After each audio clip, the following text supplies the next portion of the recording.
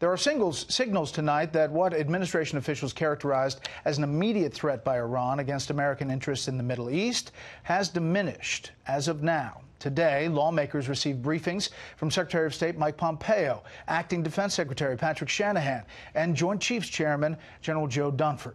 National Security Correspondent Jennifer Griffin reports tonight from the Pentagon. It was not very enlightening. Democrats who demanded national security briefings in the wake of escalating tensions with Iran remain skeptical that the administration had a plan to avoid a war. We know Iran is bad. Okay, what is the policy going forward? There wasn't enough information on that. A war with Iran would be an absolute disaster, and I hope the American people tell this administration that we will not go to war. This is blind escalation with the hope that the Iranians will come to the table in the end. Republican lawmakers had a different reaction. It was a very good briefing. They explained to us how the Iranian threat streams were different than in the past, that the attack on the ships and the pipeline uh, was coordinated and directed by the Iranian uh, government. There's no intention uh, to go to war in the region. This is, made, this is a deterrent operation uh, to stop Iran's escalation.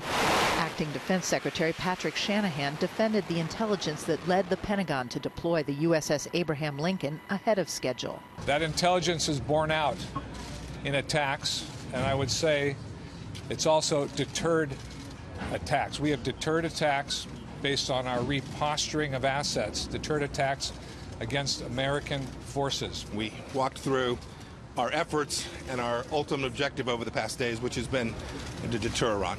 Iran's foreign minister ruled out negotiating with the Trump administration, warning third parties may try to pull Iran and the U.S. into a direct confrontation. We believe that the United States is playing a very, very dangerous game. General Joe Dunford, the chairman of the Joint Chiefs, has canceled a trip to NATO due to, quote, unforeseen commitments that require him to remain in Washington, D.C., a sign that tensions remain. Brett? Jennifer Griffin at the Pentagon. Jennifer, thank you.